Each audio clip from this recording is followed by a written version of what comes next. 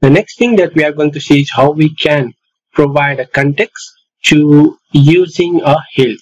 So let's say if I have some class where I require a context, uh, let's say you are building a retrofit or you are building a database service, so you need to have a context over there. So let's go and create a one class over here, Kotlin class, and I'll just call it as a database uh, service, and and I'll just create a inject over here. Inject and create a constructor. And constructor parameter I'll pass the uh, context over here. And okay so I have now I have a database service and it requires a constructor parameter using a context parameter.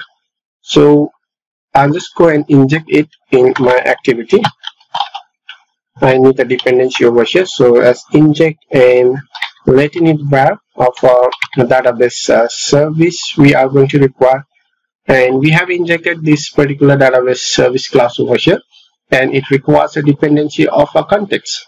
So how we are going to provide this context? If it was if we don't have any like a uh, dependency over here then that's fine. Like we just can make use it over here but now we have a dependency we need to provide the dependency.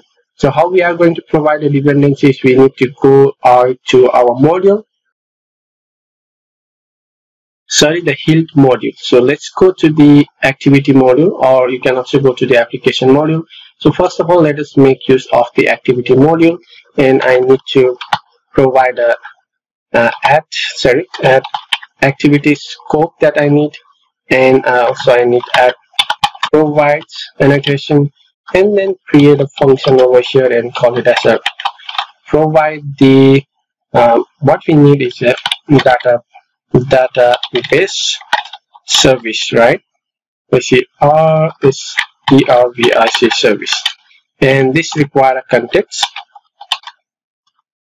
And then the return type is of the uh, database sorry database service so we are going to return a database service. So just return a database service that we have and we need to pass the context.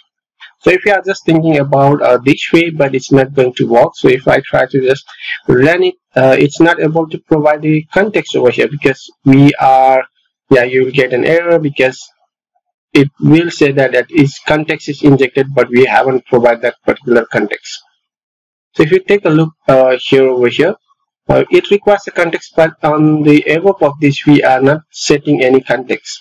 So here we are not getting any context. So how the, uh, the dagger or the Hilt doesn't know how it is going to pro, uh, get that particular context over here.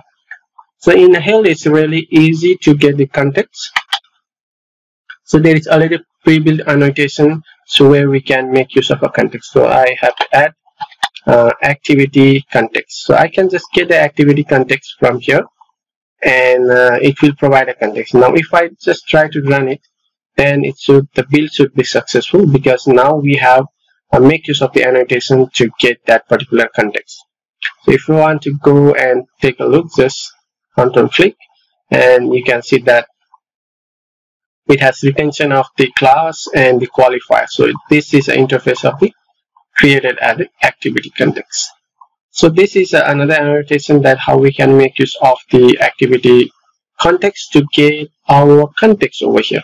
Similarly, there is another context which is application context. So if I go over here and if I just say add a singleton and add provides and then provide a function to provide a database service right? And here it requires a context uh, c-u-n-t-e-x-t context. It requires a context. And the return type is of the database service. And then we will just uh, return the um, database uh, service over here. And then we need to pass the context over here. But the context this time is we need to provide an application context. So add application context. Yeah. and if I just uh, comment out this one then that should work perfectly fine so it's depend on you whether you are requesting uh, application context just for the application uh, application level to get certain things that you need to get from your application level or whether you are requesting certain things from your activity itself. Like if you're just requesting uh, a resource file or something then uh, I guess it's better to use activity. But if you are get trying to get uh, something like a cache directory for your OKHTTP and all of those stuff can be done using the uh, application context. So depending on your requirement you can either use application context or use uh, activity context also you can whenever you define it over here you can also uh, uh, you can also statically mention over that I need a particular context over here like add uh, application context. So you mentioned that I need the application context over here.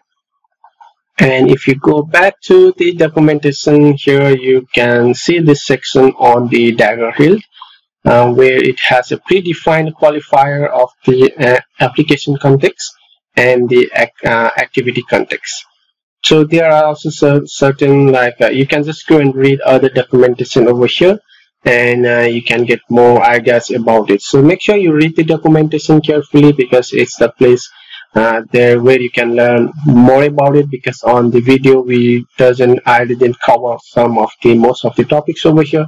And I think most of the topics I have already covered but certain things I haven't covered it over here. So if you want to know more you can just uh, go and look into the documentation and try to implement in your application itself